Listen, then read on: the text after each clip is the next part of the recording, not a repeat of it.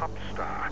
If the dictator of Turkmenistan can get J-Lo to sing him happy birthday, then who's to say I can't get my fading star of yesteryear? Let's see how much Kanye is going for. Do you follow him on Twitter? He's gold. Oh, I would love to shoot the breeze with that young man.